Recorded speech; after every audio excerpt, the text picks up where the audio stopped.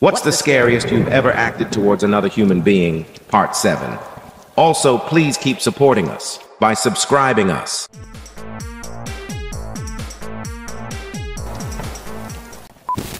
Account 1. I have a group of friends who are touring musicians that would stay with my husband and I when they came through our town. Apparently, they acquired a stalker along the way that followed them through Europe and continued to do so through their U.S. leg. She had apparently left her husband and family to do this. She had gotten really violent and would attack the main guy that she was obsessed with. They had left her picture with the door guy, so they would know not to let her in. They had taken out a restraining order in San Francisco, but couldn't get it served. Some weird time limit laws. I go out front of the bar to have a smoke, and I see her dancing up the street. She's wearing gypsy type clothing and sunglasses at night, great. As I mentioned before, they are staying with us, and she is now at the venue. I tried to talk to her and asked her why she was doing this. She just kept repeating, I'm in the band. That was the only thing she would say to me. She got real close to the door, and the door guy wasn't being very observant. I could see this going south pretty quickly, so I called the cops and told them the situation. Once they arrived, they talked to her but couldn't really do anything. They told her to stay on the other side of the street from the bar. The guys finish their set and they are loading up. Well, guess who shows back up and starts walking towards the van? I cut her off before she could get there and stood in front of her. I told her, I think you should go now, very softly. She started blabbing the, I'm in the band line again, and I became infuriated. Jaeger probably had something to do with this. I really didn't want this crazy bitch to know where we lived nor did I want to go to jail for hitting her. My brain shrieked, You must out! Crazy her! Lick her face. So I grabbed her face in one hand and licked her from her chin to her forehead while she was in mid sentence. I once again quietly said, You should go, and pushed her away. She ran and we weren't bothered again that evening. The guys thought it was hilarious, TLDR out. Crazed a stalker by licking her face from chin to forehead. Account 2. Before I start, let me say that I am 5'9", around 140 pounds, and I am more in touch with my fem side than most guys at my college. Anyways, about a week into my freshman year, I started getting kind of verbally harassed by a bunch of the jocks. I let it go for a while. I was happy with who I was and really didn't give a fuck. Eventually, though, it got too much to bear especially when I had a boyfriend and they started going after him. One night while I was walking about, four of them saw me and started yelling some stupid shit. Insert gay slurs here. If it had been about me, I wouldn't have given a fuck. But talking shit about my guy was crossing the line. I walked straight up to them and told them to fuck off. And they tried to walk over me and keep laughing, but in the scariest psycho bitch's voice I could, I said, Listen to me when I'm fucking talking to you, you fucking cunt. I was wearing a ring with a larger stone, so when I backhand slapped the leader on the word cunt, it tore a chunk out of his face. I put my entire 140 lbs and all my rage into it. He stood there bleeding and aghast. I said, That's right, bitch, and walked away, and they haven't bothered us since. TLDR tiny flaming homo pimp slapped a wrestler. Account 3. I was very drunk at one of my own large college parties at my old house. Some random one-off douchebag runs into me and tells me to watch where I'm going. Through a combination of having a bad day, this being my house, and having others egg me on, I ended up getting myself angry enough to throw this kid out. I'm a large fellow, about 6'3", and 260 lbs. And this guy is around 5'11", and maybe 200 lbs. So I walk up to him from behind, grab his shoulder and spin him so he's facing me. He gets a what the fuck look on his face as I grab him by his neck and pick him up. It's in the backyard, so I walk him, dangling by his neck, to the gate exit and throw him out. Yelling and words were exchanged before he and his friends left tails between their legs. I still feel bad about it. He really didn't deserve anything more than a go fuck yourself, and I'm totally not a violent person but such is life. I did end up running into one of his friends on campus and telling him to apologize for me. Who knows if that ever happened. Account 4. I'm a female martial artist, and I regularly deal with dumbass guys with no training who think they can beat me up because I'm a girl. But this one guy was the worst. It was a college class, so we had a huge range of skill levels. We were paired up, white belt noob versus black belt me, and started sparring. At first, he refused to hit me. Weird, misguided chivalry or whatever, but became visibly pissed when it became clear that I had no inhibitions about hitting him. He just started to glare and then started trying to hit me as hard as he could. When you spar, the general rule is light contact. But this dude, who was much bigger than me, was trying to knock me out. Of course. He had no training, and I could see him coming from a mile away. I said something along the lines of, Light contact, man, we're not boxing. And he made some joke about me being a little girl who couldn't fight a real man. So on his next big clumsy punch, I spun in and threw him across the room, followed him down, and got him in an armbar on the ground. He started cursing up a storm. Bitch, cunt, and so on, so I just kept applying pressure. I had him right before the point when I would have broken his arm. He started crying, and I laughed and called him a little girl before I let him go. The instructors kicked him out after. Nobody fucked with me after that, TLDR. White belt sexist douche cries from my badass black belt armbar. Account 5. So I was at the airport and had left my jacket in the bathroom about 10 minutes earlier. I came in the room to find it was still hanging on the stall door. As I walked out of the bathroom, I noticed that it wasn't mine. Before I could turn around, I felt a man's arm around my neck and he kept yelling, You know what that is! And I could have sworn he was humping me. I squirmed away, and as I ran, I looked back to find the man, but ass naked with a little bit of shit hanging out of his ass. Account 6. I almost killed a guy for trying to rob my mom. We were waiting in line at a book signing or something she wanted to go to. As we were standing there, a guy came up and started talking to the person in front of us. I think the theft thing was a team deal. They got my mom talking and was asking her questions and all that. And as she started talking and getting into it, I saw his hand drift into her purse.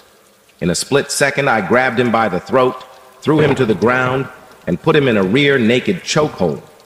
He had my mom's wallet in hand. The people around us had to pull me off of him. I'm unsure how long I had been choking him, but it felt like forever and he was already knocked. Once I got off of him, I was still pissed as he laid there almost lifeless and slowly regaining consciousness. I had the strong urge to finish him by stomping his head in, though I didn't. Cops were called and the guy was taken to jail. After the whole ordeal, I had realized how savagely I had acted, and I didn't feel bad. Account 7. I was on my motorcycle a few weeks back. When this soccer mom in her minivan pushed me off the road into a ditch, she saw what she did after, shrugged it off, and kept driving. Saw her through her side, mirror. Bitch looked right at me as I struggled to keep the bike up. I pull myself together and get back on the road. Two, three minutes later, I get caught back up to her, and she is still talking on her fucking phone. Insert rage face here. I pass her and give her the bird. About 30 seconds later, I come to a stop sign. Bitch nearly rear, ends me and skids, still talking on her phone. Something someone said on the other end of the line made her laugh. This sent me over the edge. I kick down my side stand, hop off my bike, and walk up to her window. At a four-way stop sign, mind you, cars on every side. She rolls down her window and tells the person on the other line to hold on a sec and proceeds to tell me, What the fuck are you doing? You are holding up traffic. I lost it. I reached into her window, grabbed her pretty iPhone in the pink case out of her hand, throw it as hard as I can at her front window, smashing it and the phone in the process, calmly walk back to my bike, and proceed on with my day. Account 8. I was a lacrosse goalie in high school, and I was pretty good. Scary, even though I was um, a 110 LB white girl from NH. Part of being goalie is being able to see the whole field and yell to my players things they can't see, need to do. So I'm really loud and raspy from yelling every day at this point. Anyway, so in girls, lax. Around the goal is a circle which no one is allowed in except for the goalie. This means not a step in. You can't reach your stick in, nothing. If the ball is inside the crease, it's mine. A girl on the opposing team decided once to ignore this rule because the refs were like 100 and blind and went for a ball on the ground inside the crease at the same time as me, we both were trying to simultaneously get the ball with our sticks while stopping each other. And the whole time I was just yelling, crease, crease, crease, trying to get her to stop or at least get the reef's attention to the violation. Finally, I lose it and just stand up to my full five, five, get right up in her face as close as we can be without my helmet touching her eye cage, and literally just fucking scream like a crazy person, get the fuck out of my crease.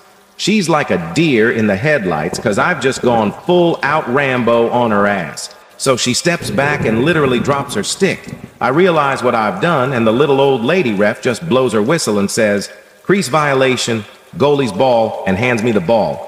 My coach immediately called a timeout to check that I was okay and she told me she thought I was going to eat the girl. Ha ha ha ha. I still love it. I thought I'd be thrown out of the game for poor sportsmanship, and the girls on the other team were calling me psycho bitch for the rest of the game. But it was worth it. TLDR, lax goalie, went full Hulk on some girl because she was breaking a serious rule and the refs didn't notice. They finally noticed and didn't say anything about my freakout, just handled it like any other violation. Account 9. Re crazy eye. I bartended for a couple years at a dive blues bar. Blue, collar, mostly middle-aged crowd. I think I only had to break up three or four things during the entire time I was there. What got me fired?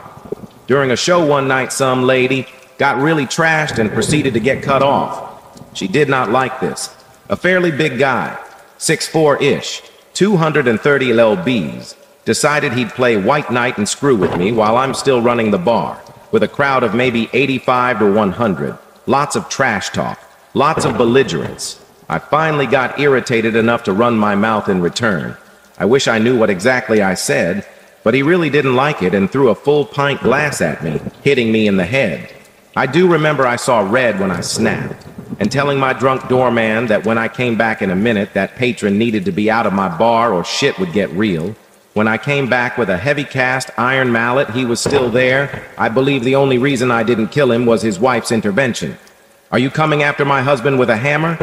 Yes, Mom. He's a lot bigger than me, and I may have to remove him the hard way. Shit hit the fan. The coked up owner and the drunk doorman finally removed them. I lost my job because I wasn't remorseful in the slightest, and my friends called me Bricktop for a few months afterwards. Account 10. Flashback to high school. I am a 6'1", skinny as crap white boy. But I was wearing a punk rock jacket, skinny jeans, and British assault boots that day with a shaved head. I looked like a skinhead road warrior. Someone was fucking with my little friend. He's this small, skinny dude who is like 5'5", tall. Well, this guy stole his backpack and he was chasing him to get it back and the guy tripped. So my friend full on kicked him in the chest while he was on the ground, grabbed his backpack, and starts walking back to our group of friends. Well, the only error was that the bully's friends saw him get whooped by my small friend, so they start laughing at the bully's expense. So then this fucker has to have vengeance right then and there, and he starts moving towards my little friend when I decide that enough is enough. He already got whooped, and he's not going to fuck with my friend anymore. I step in front of him and just stare at his face, an unspoken challenge in my unflinching gaze. The guy is a bit dumbfounded because in my leather jacket I actually look like a big scary guy. He starts talking all kinds of shit but refuses to put a hand on me. And finally his assault culminates in, I will spit on you. To which I stepped into a hard shove that almost knocked him over and just screamed, then fucking do it, bitch. Then the principal yells at us from far away, you two stop. And we both walk away. That is as scary as I get. Account 11. I was going on holiday with my grandparents. My granddad struggles to walk far distances, so was in a wheelchair. For some crazy, unbeknownst reason, a rough-looking drunk woman started attacking him, ripped out his hearing aid, pulling his hair, scratching him, going crazy. So upon seeing this, whilst carrying my granddad's metal walking stick, started beating the shit out of her until security arrived and took her away, was seven years ago, so I must have been 11 at the time. Account 12. Seeing another cigarette related story reminded me of my story that happened about a month ago. Also, I'm not a violent man. Protective, yes. Violent, no. I go to a punk rock venue in my city quite frequently, the kind where the security is lax. But due to the dying scene, the patrons are usually a good crowd and refrain from causing problems for other showgoers, as well as act as a natural security measure against assholes that try to ruin a good show. I was at a show there towards the end of August. I had invited this lovely girl, let's call her Jen, to accompany me for an awesome night of good beer and good music. After a band finished playing their set, Jen and I stepped outside to the front of the venue for a cigarette and were joined by some other venue goers when an individual asked me if I could spare a smoke. I, of course, obliged. This, however, was merely a distraction, as he saw this as an opportunity to flick, whip his knife out, and cut the strap to Jen's canvas shoulder, bag, and make a break for it. Jen was upset. I was pissed. Thankful for us, the rest of the guys outside with us didn't let the scoundrel move five feet before he was surrounded by punks, spiked jackets and all, delivering both boot and fist to the unruly rat. I was standing at the outer ring of this circle, maybe throwing in a foot or two, but never really connecting. The larger gent next to me had his foot on the man's wrist that was holding the knife, and with a nod assured me that I could have a go at the miscreant the would-be thief looked up at me and stared as I put my lit cigarette out on his forehead. Jen and I have our third date next week, and the larger gent that helped us out is now the head of security at the venue. Account 13. I made a throwaway since this could technically get me in some pretty big trouble. I'm a very tiny girl, and I shit you not. Last spring, after leaving a Reddit meetup, I had to take the train home. It's extremely late at night I'm walking alone. I know, and trains don't come as often. I get down to the bottom of the tunnels and nobody's down there except the four Brazilian guys. As I walk past them, I could hear they were saying something in Portuguese along the lines of, We'll get her. We'll get her. It's too late to notice. It's empty. Although I look purely Nordic, part of my family is also European Portuguese, and I heard a lot of it growing up. I started to fucking panic. I tried to look like I didn't notice, so I pretended to get my phone out of my bag, but I always kept a knife on me, even though I swore I could never do anything with it. It was early spring, so long sleeves still applied.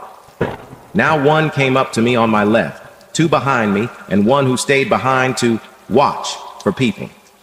They started saying all these disgusting things to me in English, and one started touching me, telling me to talk dirty to him, when the one next to me grabbed my wrist and one started charging. I let out the knife I had slipped up my right sleeve and dug the shit out of it into the side of his thigh. He screamed and grabbed his leg, and I twisted it as hard as I could, and then he dropped to the ground. Here I was, holding this bloody little knife I took from my dad with my dress covered in someone else's blood. I turned around to see the two behind me had stopped running at me, and I don't know what it was, but my adrenaline was pumping so hard I yelled back in Portuguese, How fucking deep do you want it, baby? flailing the knife in a twisting gesture. They had no idea I had understood them earlier. They froze in disbelief. I heard a train coming, so I threw the knife into the bottom of my now ruined bag, got on, and left. I blankly stared at them in the window, pointing to them individually, mouthing one, two, to freak them out more while they grabbed their wounded friend, Nobody ever found out. The story never made the news. I left my knife in an enzyme wash at home in a bucket overnight, doused it in bleach, and threw it in a swamp the next day. Account 14. When I was about eight, a friend of the family's then, four-year-old son decided it was a good idea to rip out a giant hank of my hair. As this was at my house and we were watching TV on my bed, my eight-year-old self decided that the next perfectly sensible course of action would be to smother that little fucker with my pillow. Luckily for him, the door was open and my mother saw what I was doing and managed to stop me. If no one had been there, I probably would have killed him. I still haven't forgiven him for pulling my hair, though. Account 15. I would like to preface this comment with a few quick notes. The first is that I am not a good person, I am jaded, bitter, mean, defensive, angry, and just an unpleasant person to be around to pretty much anyone who hasn't earned my trust. I know it sounds incredibly self-centered and narcissistic, but fuck you. The second is that I do not mess around when it comes to my safety.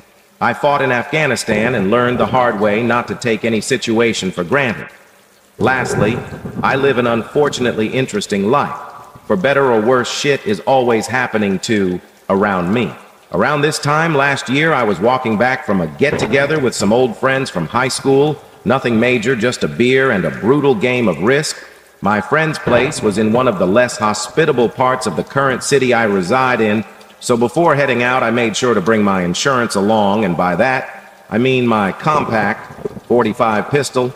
Baby Ruth, as I call her, was nestled in an underarm holster by my side, bobbing along with me as I walked, I was enjoying the cool night air and the sounds of passing cars as I traveled to my own vehicle when someone approached me from behind. I had already heard them coming but didn't really think much of it. I had figured they were going to their own car or something. How naive of me. The next thing I know, I am being pushed against my door and struck across my back and shoulders after he connects with the back of my head once driving my face into my car and busting my nose and eyebrow up. I managed to push myself away from my vehicle. My attacker staggered back only to try and come at me again. Joke's on him, though, because in that brief moment I had drawn my weapon and leveled it right at his face. The look on his face was priceless, nothing but sheer terror. His eyes were like two big dinner plates. I suppose I must have been equally a sight to behold, with blood running down my face and a big smile running across it. If there is anything in this world I hate literally more than anything else, it's a thief. And when one attempts to take advantage of me in the dark, in a strange city, they had better bring more than their empty fists to the fight. I cocked the hammer back on my pistol, still smiling and bleeding, hoping beyond hope that this piece of filth tried to come at me again. Fortunately for the both of us, he didn't, though. He simply continued to stare at me blankly. As my blood rage subsided, I thought that perhaps it would be a good idea to turn the tables a little bit. I took his wallet, pants, and shoes before making him turn around, get on his knees, and beg for mercy, swearing to never steal or mug anyone again. I was about to let this fucker go when I had one last sadistic thought. I made him get up and turn around to face me staring him in the eyes, weapons still pointed at him. I reach up and rack the slide back, throwing the chambered bullet up in the air. I caught the unspent round and threw at his chest and said, This one is free. The next one will cost you a whole lot more. I got in my car, called the cops, and scooted on out of there.